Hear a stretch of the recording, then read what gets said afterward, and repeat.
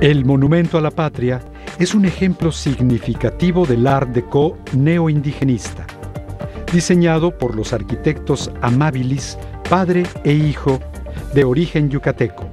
Ambas fachadas de esta obra se encuentran inscritas con símbolos que representan capítulos importantes y personajes de la historia nacional.